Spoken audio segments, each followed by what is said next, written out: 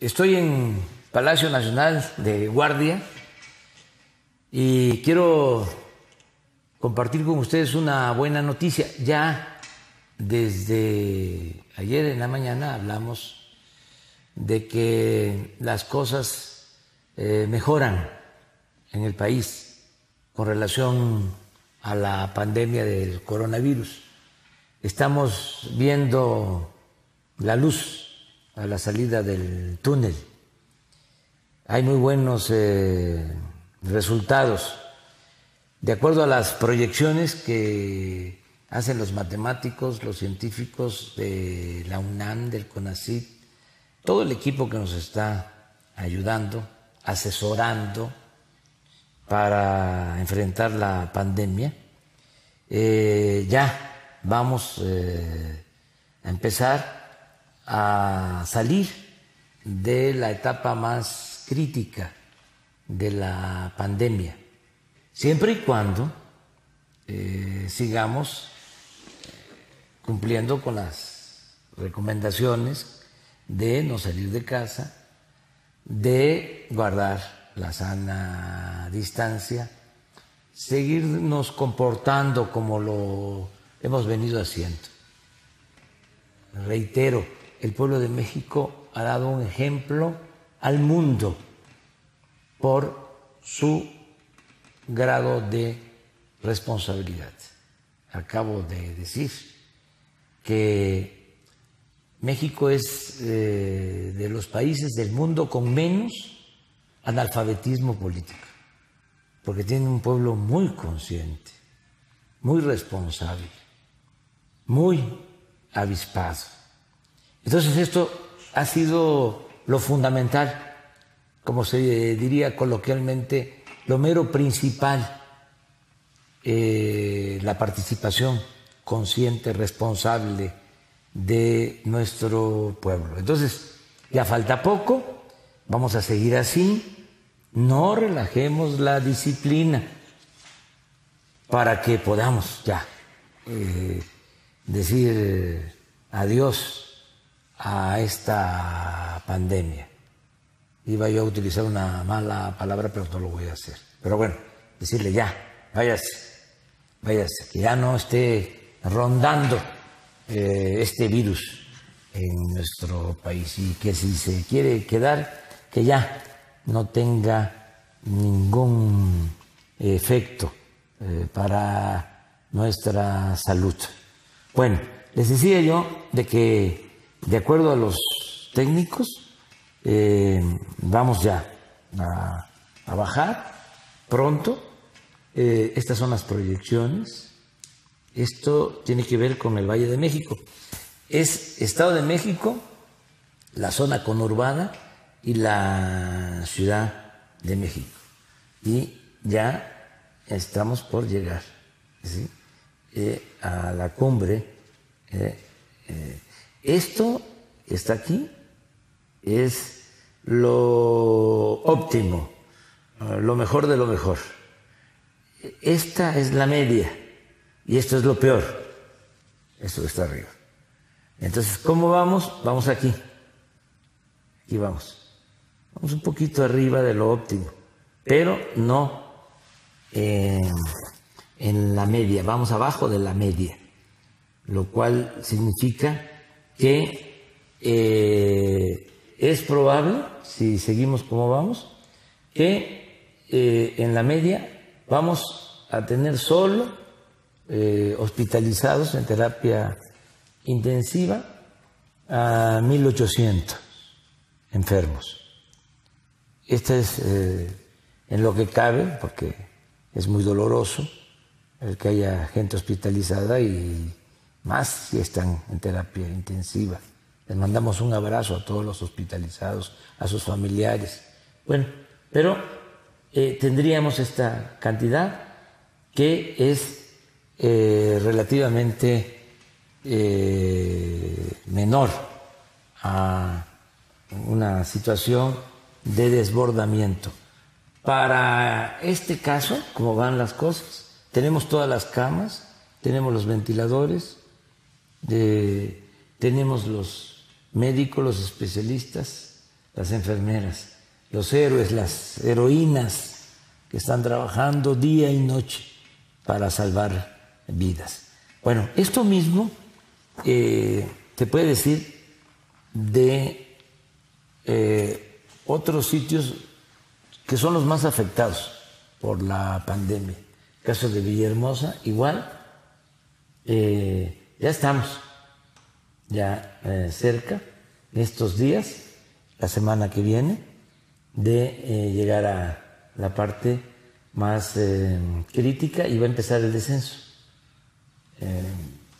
esto en Villahermosa. Eh, en Cancún igual, ya, afortunadamente. Miren, ya si ven eh, este día, que es el día primero de mayo, y aquí ya está abajo, eh, incluso abajo de la proyección más conveniente. Eh, ni siquiera la media, sino ya abajo de la eh, más favorable de las eh, proyecciones. Y ya va a empezar, en el caso de Cancún, a bajar, a descender. Luego, de los otros sitios difíciles, Culiacán, lo mismo. Aquí no ha llegado todavía a la parte promedio, pero vamos relativamente bien. Lo mismo en el caso de eh, Culiacán y eh, Tijuana, también ya eh, se empieza a contemplar la posibilidad de descenso y no hemos llegado a la media proyectada. Es decir, los resultados son muy buenos. Ayer hablé con los eh, gobernadores de Quintana Roo, con el gobernador de Tabasco, con el gobernador de Baja California. Hablé también con el gobernador de Sinaloa. Eh, ayer eh, hablé con la jefa de gobierno. Tengo una comunicación mm, estrecha, permanente, de coordinación con el gobernador del Estado de México. Estamos trabajando de manera coordinada. Miren, estos eh, estados, que son seis, a los que acabo de hacer mención, son los que concentran de todos los casos casi el 65% de los casos de las personas infectadas por coronavirus.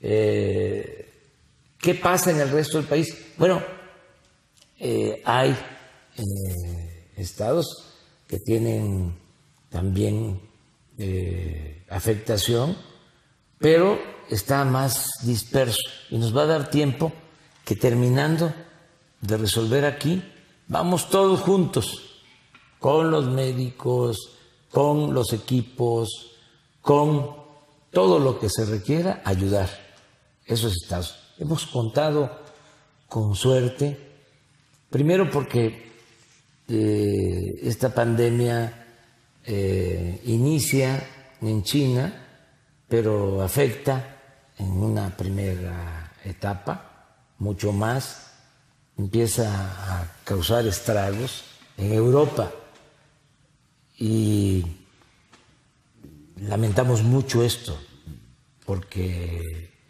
eh, causó mucho daño en Europa. Esto que fue una desgracia porque no estaban preparados, no había hospitales, no habían camas suficientes, fueron rebasados. Muy lamentable, muy lamentable. Eh, nos duele que esto pase. Eh, al mismo tiempo sirvió para que nosotros eh, nos preparáramos y nos llegó después y nos hemos venido preparando porque no teníamos las condiciones necesarias. El sistema de salud estaba caído, en ruinas. No teníamos las camas, los ventiladores, los especialistas. Entonces nos dio tiempo de ir eh, creando toda la infraestructura que se requiere, que se necesita, porque son los dos elementos. Un pueblo consciente que haga caso, como está sucediendo, un pueblo responsable que se quede en casa, que guarde la sana distancia, que ha sido lo fundamental, y una infraestructura hospitalaria básica, eh, eficiente, con buenos eh, doctores, enfermeras, eh, expertos, científicos. fue un acierto dejar la conducción de esta estrategia a los científicos, al doctor Jorge Alcocer. Es un acierto que el secretario de Salud sea un hombre como Jorge Alcocer, un científico, un premio nacional de ciencia, eh, una eminencia, además eh, especializado en eh, esta materia, esto que tiene que ver con los contagios del coronavirus. Luego, Hugo López Gatel, también de primera, y así un equipo eh, de expertos, eh, el doctor Reyes Terán y muchos otros, hombres y mujeres expertos, que nos están ayudando, que nos están asesorando. Entonces nos dio tiempo de prepararnos y ahora eh, tenemos forma de enfrentar la pandemia con mejores resultados, desde luego salvando vidas, que es lo que estamos haciendo. Ya vendrá después el tiempo para reiniciar las actividades económicas. Eh, ya tenemos todo un plan para reactivar pronto la economía, para que haya bienestar, para fortalecer la economía familiar, la economía popular, que circule el dinero que la gente tenga para comprar, que eh, se sigan entregando los créditos, que se generen muchos empleos rápido en la industria de la construcción, que comience a aplicarse el primero de julio el tratado eh, económico, comercial con Estados Unidos, con Canadá. Bueno, vamos a, salir adelante. Eh, yo les transmito mi optimismo eh, y decirles ya falta poco, no dejemos de cumplir con eh, las medidas, con las recomendaciones que les eh, dejo como esperanza, eso que siempre digo que es una fuerza muy poderosa, que vamos a reiniciar actividades van a reiniciar las clases pronto. En municipios no afectados queremos hacerlo desde el día 17 de mayo. Y en las ciudades donde hay más afectación, a partir del primero de junio, el regreso a clases. Y vamos a ir poco a poco, con cuidado, eh, siguiendo todas las medidas sanitarias que se requieran, abriendo la industria de la construcción, abriendo el turismo, abriendo las cadenas de producción para eh, exportar a Estados Unidos, una vez que también ellos empiecen con la apertura de su actividad económica y comercial. Y ya, eh, desde luego, ya empezamos. Y el lunes próximo, pasado mañana, empiezan a dispersarse los créditos para el bienestar, para pequeños eh, empresarios, para pequeñas empresas familiares de la economía formal, de la economía informal, y becas y muchos apoyos, porque tenemos los recursos como no hemos permitido la corrupción y no hay lujos en el gobierno, pues tenemos ahorros. No tenemos que pedir prestado y hay una reserva de recursos para reactivar la economía y para enfrentar la crisis de bienestar social. Vamos hacia adelante, tengamos confianza y les mando un abrazo y un saludo muy cariñoso y fraterno.